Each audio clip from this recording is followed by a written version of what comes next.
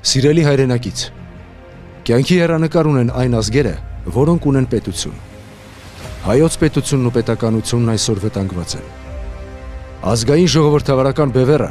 միակ քաղաքական ուժն է, որն ունի պետության փրկության եւ կենսունակ պետականաշինության ծրագիր եւ այն իրականացնելու ներուժ։ Բևեռը միակն է։ Միակն է։ Սակայն գաղափարն իրականություն դարձնելու համար անհրաժեշտ է ձեզանից յուրաքանչյուրի ներդրումն այս սրբազան գործում։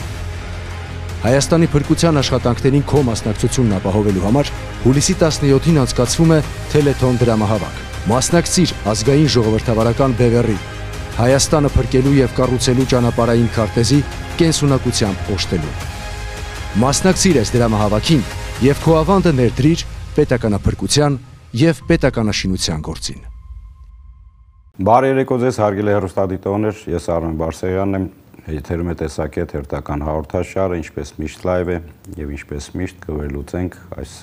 վերջի շաբաթվա իրադարձությունները եւ ընդհանրապես ինչ է կատարվում։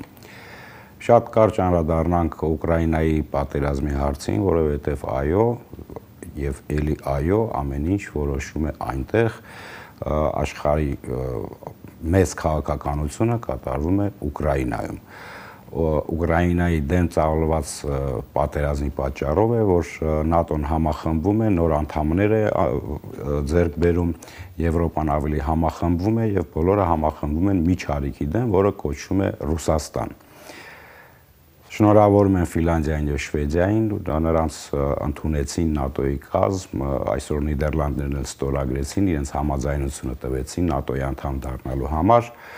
չնայած Էրդողանը սկսել է բողոքել եւ դա հենց այնպես չի, որովհետեւ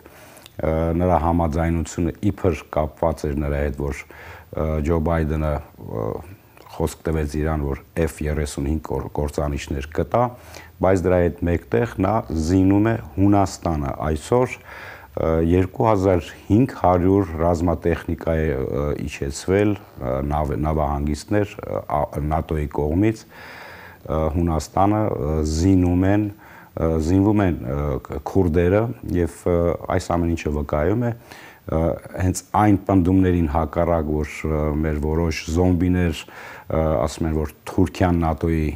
դաշնակիցն է, չգիտեմ, երկրորդ բանակն է աշխարհի եւ այլն եւ այլն երբեք ԱՄՆ-ն Թուրքիայի դեմ չի գնա, սա վառ ապացույցն է, որ ԱՄՆ-ն պատրաստվում է պատժել Թուրքիային եւ այդ թվում Ադրբեջանին էլ նույնպես որովհետև այն հայտարարությունները, որոնք այսօր հնչում են պետդեպում, կոնգրեսում, հատկապես Բոբ Մենենդեսի եւ Ադամ Շիֆի եւ իրենց կողմնակիցների կողմից ներկայացնել 44 օրյա պատերազմի Ադրբեջանի կատարած հանցագործությունները, անթույլատրելի օգտագործած զենքերը, այս ամեն ինչը վկայում է ի հակառակ այն բարբաջոցներին, որ այդ բարբաջոցները մենք լսում ենք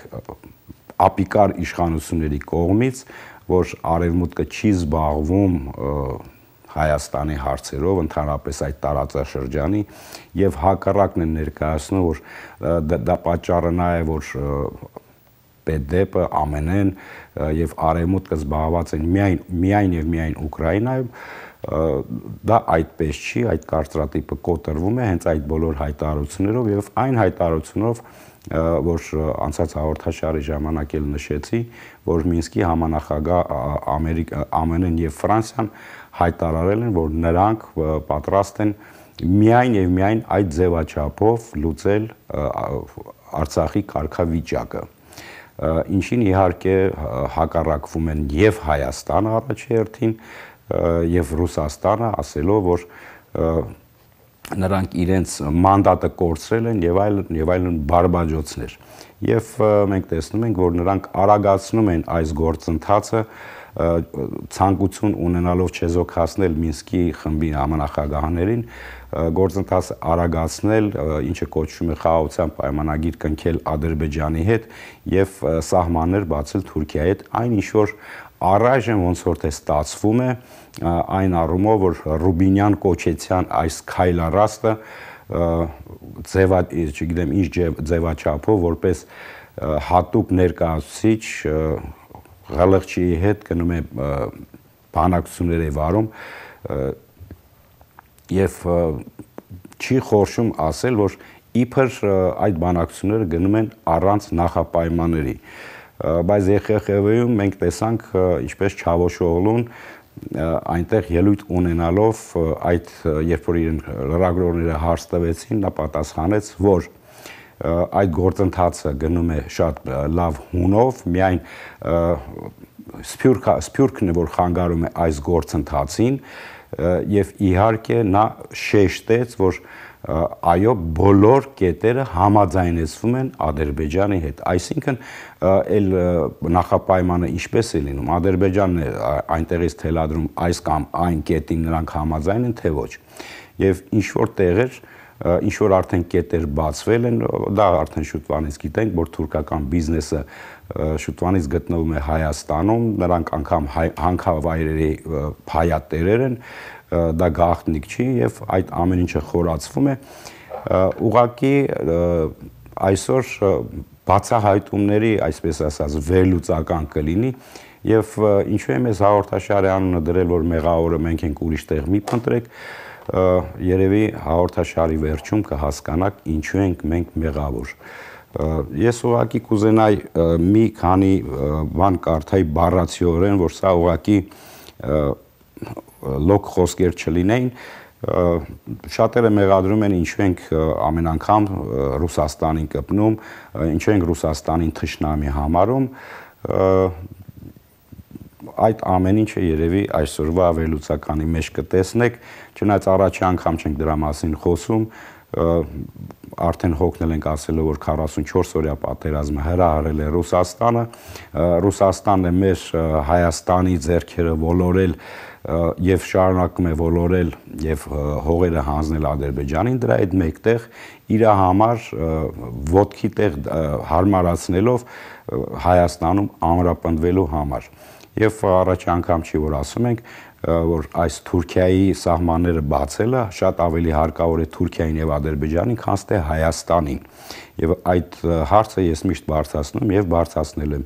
ում համար է այս սահմանները բացվում, որ այս Ռուբինյան կամ այս ապիկար իշխանությունները ջատակով են խոսում են հարևանության, բարեկամության մասին եւ նրանք պարտադրում են այս ժողովրդին վախեցնելով, շանտաժի ենթարկելով որ այդ սահմանները բացելը Հայաստանին տնտեսական օգուտներ կբերի եւ շատ կներեք այդ խոսքի համար լոլոներ, այլ լոլոներ կարդալով առաջին հերթին Ռուսաստանի դիմակը բացվեց ամբողջ աշխարհի արչև նրանք կարծում էին, որ 14 թվականի Ղրիմի բռնակցումը նրանք ինչպես կուլ տվեցին, այս անգամ էլ կուլ կտան Ուկրաինայի հարցը եւ դրա շատ փորձագետներ այսօր գալիս են այն մտքին, որ Արցախի դեմ հրահրված պատերազմը բա դա փորձադաշտ էր համաշխարհային հանրության մոտ, եթե Արցախի հարցն էլ կուլ տան, ուրեմն յուղի պես, հալած յուղի պես էլ նրանք կուլ կտան Ուկրաինայի հարցը բայց ինչպես մենք տեսնում ենք եւ բազմից ենք դրա մասին խոսում, որ այո, ոչ թե Արցախում է Ուկրաինայի հարցը լուծվում, այ Ուկրաինայում է լուծվում Արցախի եւ ընդհանրապես Հայաստանի կարգավիճակը։ Երևի բոլորդ հիշում եք, ոչ թե հիշում եք, դա նոր է եղել ինչպես այդ չգիտեմ, այլ բառ չեմ գտնում, չեմ ուզում վիրավորական բառ օգտագործել, բայց Հայաստանի երկրորդ քարտուղար Կոպիրկինը, որը համարվում է դեսպան, բայց դե յուրե եւ դե ֆակտո նա Հայաստանի երկրորդ քարտուղարն է, ինչպես սովետական ժամանակներում, նա իր դժգոհությունը հայտնեց Կանադայի մտադրության մասին Հայաստանում դեսպանատուն բացելու կապակցությամբ եւ պարզապես նա սպառնաց Հայաստանին այն առումով, ասելով, որ ԶԼՄ-ները Հայաստանի ուրախությունով գրեցին, որ Կանադան դեսպանատուն է բացում Հայաստանում եւ այնտեղ շեշտվել է, որ ի հակադրություն Ռուսաստանի եւ նա հայտնում է իր տարակուսանքը, թե ինչպես մի երկիր, որը դաշնակից է Ռուսաստանի հետ, դրան դեմ չի կայնում, այսինքն չի հրաժարվում այնտեղ, չի արգելում դեսպանատուն կառուցելու եւ դեռ խոսում են թե ինչպես կը դա այդ հանգամանքը Ռուսաստանը հաշվի կառնի եւ ինչպես է մտածում Հայաստանը իր բարեկեցությունը եւ անվտանգությունը կառուցել Ռուսաստանի հետ, եթե նա դիմում է այդպիսի քայլերին։ Այսինքն, քանի որ Կանադան պատժամիջոցների տակ է մտցնել Ռուսաստանին, պարզ տեքստով ասում են, որ մեր թշնամուն բարեկամ եք սարքում, դեսպանատուն եք տալիս։ Սա սպառնալիք է Հայաստանին անթակույց եւ դա պարզ է, որովհետեւ Ռուսաստանն այսօր փրփուրներից է կախվում, անգամ հասել է նրան, որ Վալոդին Կոչեցյալը Գոսդումայի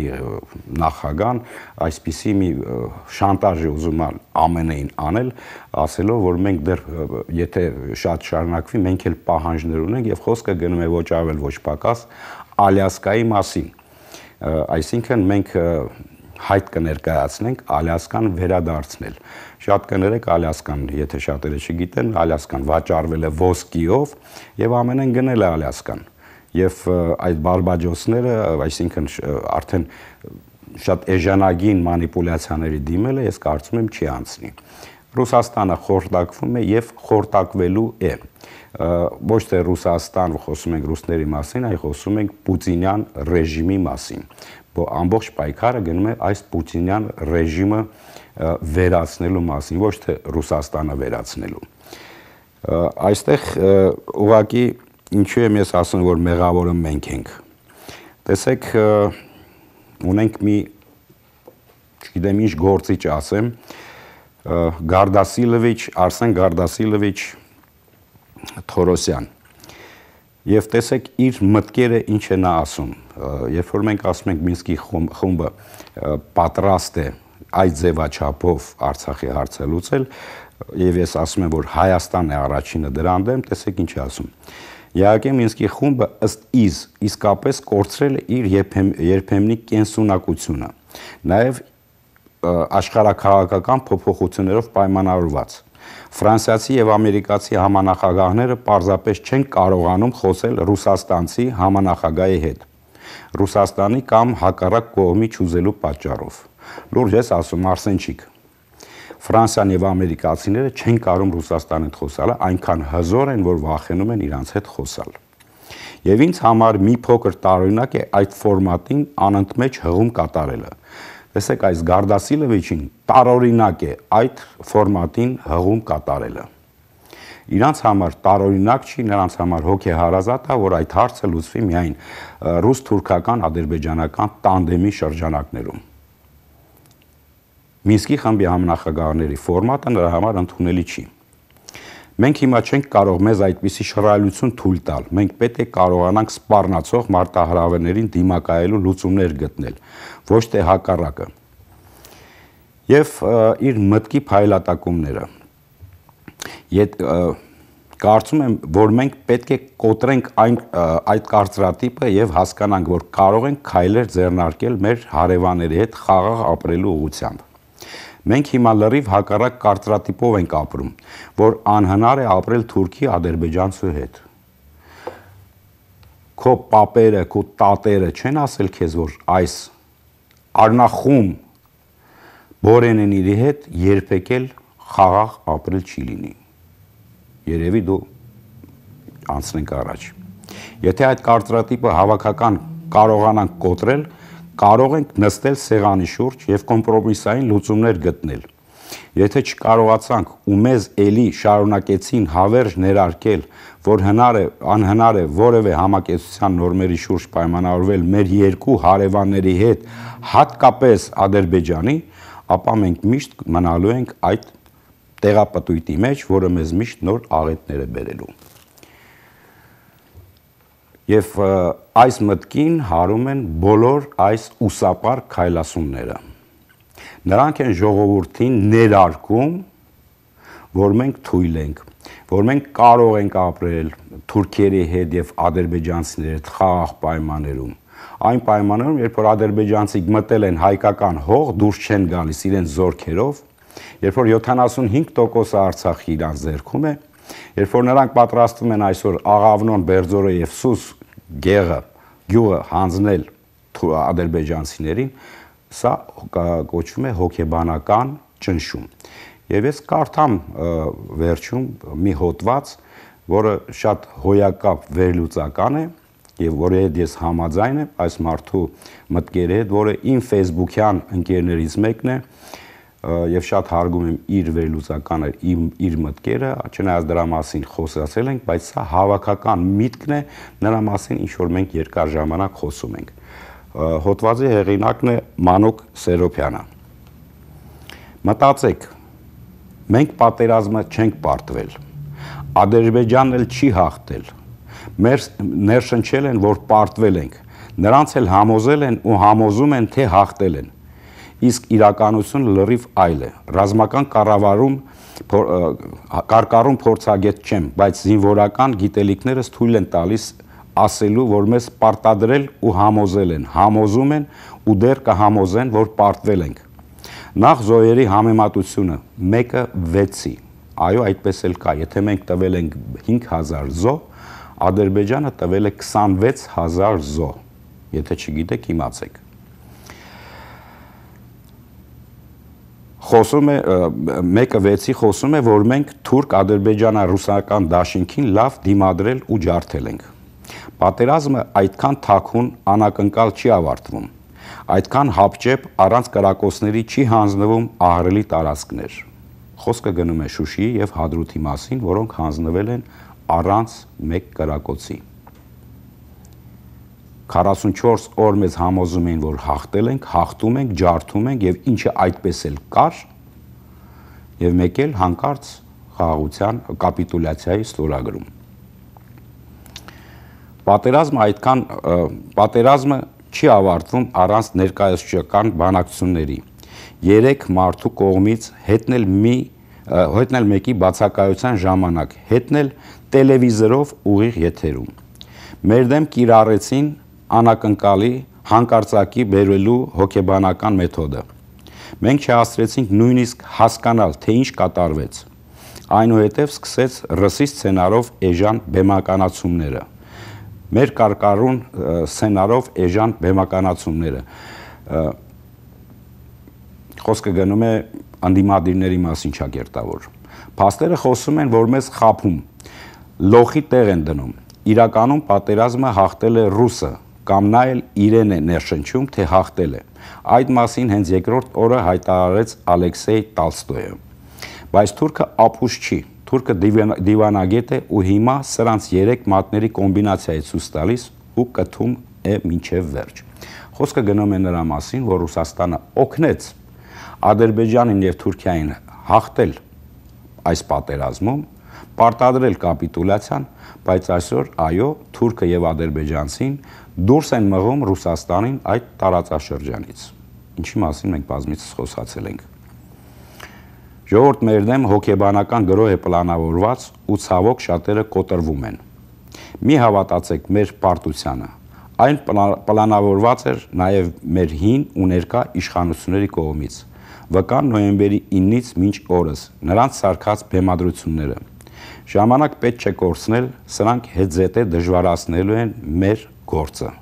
Պատրաստվեք։ Իսկ պատրաստվեք ինչին։ Պատրաստվել է հարկավոր պատերազմին։ Այո, որովհետև ինչպես ես ասացի, արևմուտքը ոդկ է դնում, արդեն ոդկը դրել է այս տարածաշրջան, եւ Հունաստանը, եւ քրդերին օգնելը դա ժողովուրդ մեր տարածաշրջանն է։ Եվ Սիրիան, դա մեր տարածաշրջանն է մի սահմանափակվեք միայն հայ-ադրբեջանա-թուրքական այդ տարածքով։ Այո, արևմուտքը գալիս է մեր տարածաշրջան եւ պատժվել են եւ Թուրքիան եւ Ադրբեջանը բայց մենք առաջին հերթին պետք է ազատվենք այս դավաճան ապիկար իշխանություններից որոնք զբաղված են էժանագին շոուներ անելով Չակուշ բռնողը այս վերջերս տեսահոլովակ էր տարածել սոցցանցերում ինչպես է նա եղջերուներին յոնջա տալիս ես այս տեսահոլովակի մեջ մի ուղերձ տեսա ժողովրդին ուղված որ եղջերուները դա մեր ժողովուրդն է եւ ինչպես է այդ ժողովրդին այս վիժվածքը, այս պետական դավաճանը խոտ տալիս։ Այն ինչ որ ես նոր կարդացի, մեզ համոզում են, որ մենք պարտվել ենք ինչպես նա ասում էր, նա փրկեց սկզբից 25000, հետո 30, հետո դարձավ 35000 զինվոր փրկեց։ Նա կազմալուծում է բանակը, ասելով, որ մենք թույլ ենք եւ ընդհանրապես հոխորտալով, որ Ադրբեջանը դեմտել է Սևլիջ դուրս չի գալիս, մնացած քայլասումները, ինչպեսին Ռուբինյանն է իր արտահայտությունը հիշում եք, որ այդ Գորիս Ղափան 21 կիլոմետրանոց ճանապարհը նա անվանեց, որ երբեք էլ այդ տարածքը քարտեզներով երբեք հայկական տարածք չի եղել եւ այսպիսով նրանք միշտ մեզ համոզում են, որ ադրբեջանցին ճիշտ է,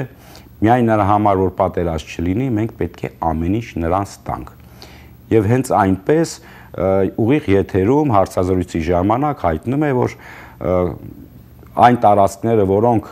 լղիմի տարածքում կազմում չեն եղել, ինչպիսին են Աղավնոն, Սուզգյուղը եւ Բերձորը, դրանք պետք է անցնեն Ադրբեջանին։ Ինչպես այս պետական հանցագործ բռնողը ժամանակին հայտարարում էր, որ ես համաձայն չեմ, որ քանի որ Արցախում հայեր չեն ապրել կամ Շուշիում հայեր չեն ապրել, ես համաձայն չեմ, որ նրանք պետք է լինեն Հայաստանի կազմում, նրանք պետք է լինեն Ադրբեջանի կազմում։ Այս 4 տարվա ընթացքում այս հանցագործ քեմալական պայմանագիր կուսակցությունը այս 4 տարին լծված է ժողովրդին համոզել, որ այդ ամեն ինչը սուտ է։ ԵԽԽՎ այդ համաժողովին գնում է Աղաջանյան Էդուարդը, Վլադիմիր, չգիտեմ, Ինչյանը եւ Ռուբինյանը իբր այնտեղ բոցաշունչ ելույթներ են ունենում, որ էթնիկ զտումներ կարող է լինեն եւ այլն եւ այլն, բայց որևէ մի անգամ մենք չլսեցինք այն իրական իրավունքների մասին բարձրաձայնեն, ինչը կոչվում էր Սևրի պայմանագիրը եւ Վուդրո Վիլսոնի իրավարար վճիրը։ Երբեք եւ երբեք դրա մասին չի խոսվում։ Նրանք հետևողականորեն ժողովրդին տանում են այն ուղիով, ռուսական քարտեզներով, ԽՍՀՄ-ի իրավահաջորդությամբ, Ստալինի թեթև գրիչով գրված այն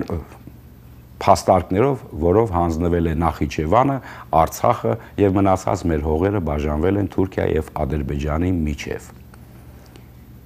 Այո, մենք ենք մեղավոր, մեր ազգն է, մեր ժողովուրդն է մեղավոր, որ ընտրեց անգամ երկրորդ անգամ այս ճիվաղներին ընտրեց եւ նրանք այսօր բարբաջում են հանձինս Ռուբինյանի, երբ որ նրան հարց են տալիս, ասում են, իսկ ինչ եք բանակցում, ինչ փոխվեց Թուրքիայի հետ բանակցությունների ժամանակ, նա ասում է, գիտեք,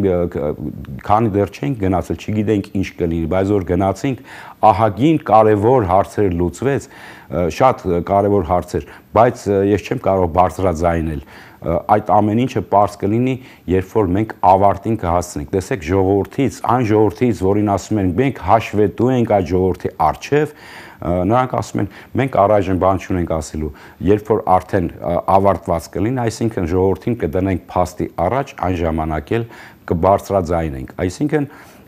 ամեն ինչ արվելու է ռուս թուրքական ադրբեջանական պահանջներով Ռուսաստանը շատ տարօրինակ ձևով իհարկե ոչ տարօրինակ նրան զավթողական քաղաքականությունը շուտվանից գիտենք եւ այս ապիկար իշխանությունները նոր հողեր են հատկացնում անհատույց ռուսական նոր զորքերի տեղակայման համար եւ այստեղ տարակուսանք է գալիս մեր ինքնիշխան իմիջայլոց տեսեք ճուզեցայել անգամ սահմանադրության օրը շնորհավոր է, որովհետև դա խեղկատակության սահմանադրություն է, որը կարված էր Սերժիկի կոստյումով եւ այդ կոստյումը այսօր շատ լավ նստեց այդ ճակուչ բռնողի, այսպես ասած,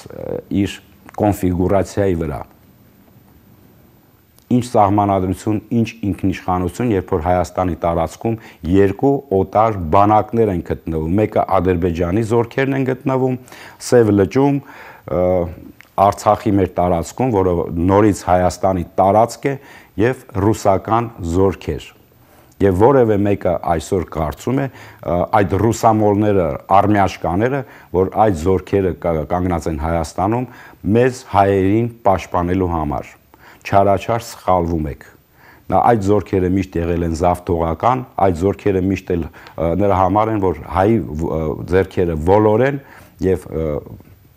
այդ տարածքները բաժանեն թուրքերին եւ ադրբեջանցիներին այդ 102-րդ ռազմաբազան միշտ ասում ենք այս 30 տարին գոռում գոչում ենք որ ոչ թե մեզ թուրքերից պաշտպանելու համար է, այն նրանք կանգնած են այդ ռուս Քեմալ պայմանագիրը պահպանելու համար եւ 100 տարի այդ պայմանագրի լրանում է այս քայլասունները, որոնք իրենց հրճակել են քաղաքականության մեջ գիտակներ, երբևիցե այդ հարցը չբարձրացրեցին, որ անգամ այդ պայմանագրի 100 ամյակն է լրացրել եւ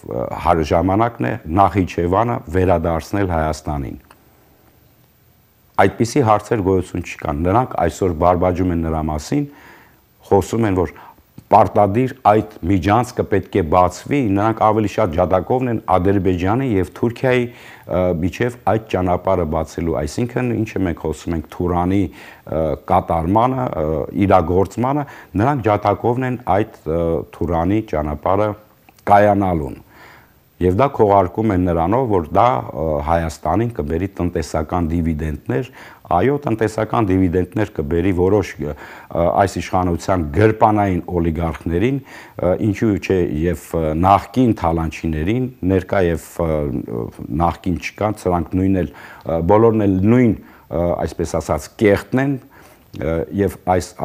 ամբողջ գործընթացը գնում է Հայաստանը հետագա քայլը լինելու է Հայաստանի կապիտուլյացիան։ Եվ երբ որ իրական ազգային ուժերը զգուշացնում են, որ այո լինելու է եւ սպասվում է հաջորդ պատերազմը, բոլորը քնած են։ Ոչ մեկ չէր հավատում, որ Արցախը պետք է հանձնվի, երբ ոչ մեկ չէր հավատում Շուշիի մասին, Հադրութի մասին, արդեն հանձնվում է Աղավնոն, Սուսը, Բերձորը հաջորդը լինելու է Զանգեզուրը։ Եվ նորից եմ կրկնում, այս միտքը բացեք պահեք ձեր մոտ, երբ որ ասում ենք հարկավոր է մեզ դաշնակից, որոշ տրեխավոր ազգայինականներ երբ որ ասում են, որ ոչ, մենք ինքներս մեր վրա հույսը պետքա դնենք, այդպես Բաքուն էր մտածում բայց տեսեք նրանք ավելի խելացի գտնվեցին 30 տարվա ընթացքում։ Նրանք դաշնակից ձեռք բերեցին հանձինս Թուրքիա եւ Ռուսաստան եւ հաղթեցին մեր ներքին դավաճանի միջոցով հաղթեցին այս պատերազմը։ Այո, մենք չենք պարտվել։ Այսօր մեզ էլ է հարկավոր դաշնակից եւ նորից ենք կրկնում, դա պետք է լինի. ՆԱՏՕ-ի ոչ անդամ Ամերիկայի գլխավոր դաշնակից։ Մտածեք սրա մասին։ Այո, մենք չենք պարտվել եւ չենք պարտվելու։ Ընդհանրապես, ինչպես այսօր ԱՄՆ-ն օգնում է Հունաստանին զենք զինամթերքով, ինչպես օգնում է Ուկրաինային, նույն ձևով նրանք պատրաստ են օգնել Հայաստանին, ընդամենը այդ ձեռքը հարկավոր է սեղմել։ Այսօրվա համար այսքանը եւ նորից եմ կոչ անում պատրաստվեք մասնակցել հուլիսի 18-ի դրամահավաքին ներմուծում ներդրում կատարեք քաղաքականության մեջ։ Դա է մեր Հայաստանի ապագան։ Ազգային ուժեր ոչ նախքին, ոչ ներկա, ազգային ապագա։ Շնորհակալություն ուշադրության համար կհանդիպենք հաջորդ չորեքշաբթի։ Սիրելի հայրենակից, կյանքի հերանեկար ունեն այն ազգերը, որոնք ունեն պետություն։ Հայոց պետությունն ու պետականությունն այսօր վտանգված են։ Ազգային ժողովրդավարական բևեռը միակ քաղաքական ուժն է, որն ունի պետության փրկության եւ կենսունակ պետականաշինության ծրագիր եւ այն իրականացնելու ներուժ։ Բևերը միակն է։ Միակն է։ Սակայն գաղափարն իրականություն դարձնելու համար անհրաժեշտ է ձեզանից յուրաքանչյուրի ներդրումն այս սրբազան գործում։ Հայաստանի փրկության աշխատանքներին քո մասնակցությունն ապահովելու համար հուլիսի 17-ին անցկացվում է Թելեթոն դրամահավաք։ Մասնակցիր ազգային ժողովրդավարական բևեռի Հայաստանը փրկելու եւ կառուցելու ճանապարհային քարտեզի կենսունակությամբ օժտելու։ Մասնակցիր այս դրամահավաքին եւ քո ավանդը ներդրիր պետականափրկության եւ պետականաշինության գործին։